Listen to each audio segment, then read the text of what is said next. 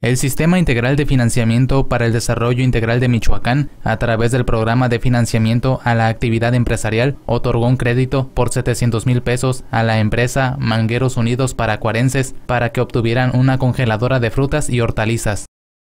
El titular de Financia, Benjamín Hernández Luna, indicó que a través de ese financiamiento se podrá potenciar la exportación de productos michoacanos a Estados Unidos, Nueva Zelanda, Japón, Europa y Asia tales como el mango, el aguacate, fresa y limón, además de beneficiar a los productores nacionales que envían productos a esta empacadora. Detalló que el crédito será utilizado en la producción, industrialización y comercialización de productos agropecuarios, ya que se tiene la fortuna de que una buena parte de los productos michoacanos tiene una demanda creciente, por lo que con ellos se podrá abastecer la demanda en otros países.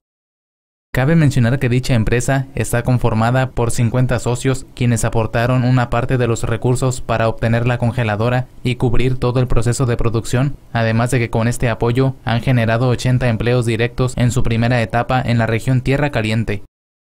Mangueros Unidos Paracuarenses cuenta con certificado de inocuidad y es una empresa sustentable que ya trabaja con la producción de mango orgánico y de continuar con un buen historial crediticio en el siguiente ciclo de su financiamiento podrían aspirar a un crédito de 3 millones de pesos.